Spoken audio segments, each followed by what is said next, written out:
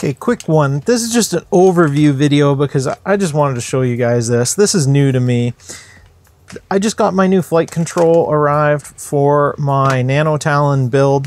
This is something I just ran across recently. This is the FC F722 wing flight control from Matek.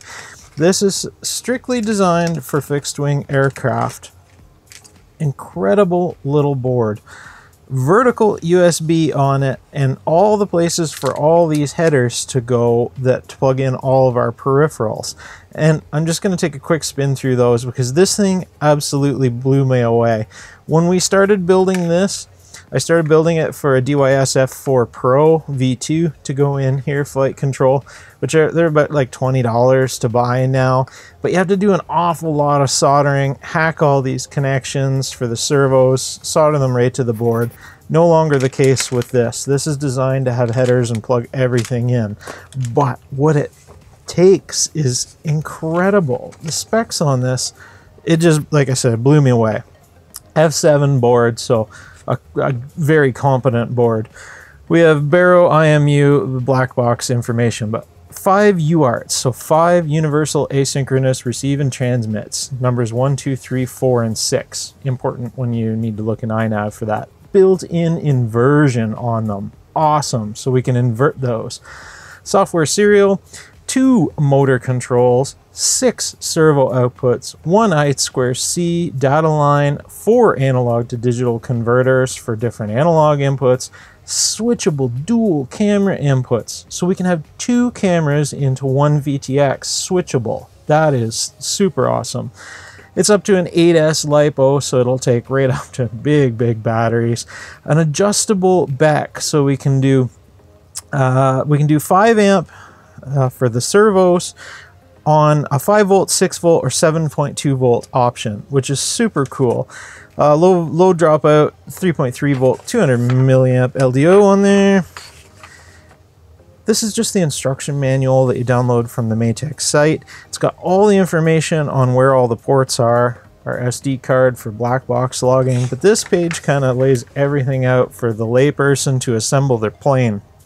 Our two ESC controls at the top our battery input from our LiPo.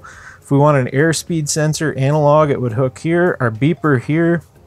Digital airspeed would go to serial data and serial clock. That's I squared C. Our different receiver layouts would go here, depending on which one you have. It gives you your, like if it's Crossfire or S-Bus, it gives you your terminal numbers and how to lay it out. All of our servos are here. Our two cameras are down at the bottom our video transmitter goes here. Our GPS goes to TX3 RX3. An OLED, which I'm going to use, is going to go on serial data, serial clock.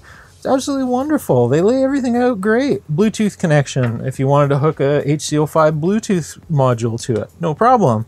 And then all of our layouts in iNav here absolutely cool. Uh, current sensor calibration tells you how to calibrate your current sensor. Put in 250 there and they say it's going to be bang on. We'll test that. Our camera switcher layout in iNav here, which I'm going to use, is we're going to put one camera in the front of this plane and then another camera out the bottom or uh, at least the leads that I can put it wherever I want. I can face it back one day, out the bottom, out this hatch another day if we're doing search and rescue or aerial mapping. Very, very cool. So we're to give this a go. Again, this is just a quick overview of what just completely blew me away. I think this is the most capable flight control I have ever seen for fixed wing. I have a Cyclops Tornado in my big EPP FPV. If you follow my channel for a long time, that flight control was about this big and has nowhere near the functionality of this. And this thing is 50 to 70 dollars and probably even cheaper in the near future. So I 3D printed a TPU mount. We'll solder the headers on, plunk that thing down in there we should be good to go. This thing should fly great, and it's modular. I don't have to hack my connections off like I do on a DYS or uh, any other, like an F4 flight control. I'm just going to plug these in, plug and play, so we can easily swap things around, change out a servo, change our video uh, transmitter or video itself, the cameras. this should be just great. I'm super excited. So that's a quick overview. I wanted to share that because I think I think other people are going to love this flight control, and I've had good luck with the Matek system stuff. So links down in the description below. We'll get it in the air soon. Cheers, guys.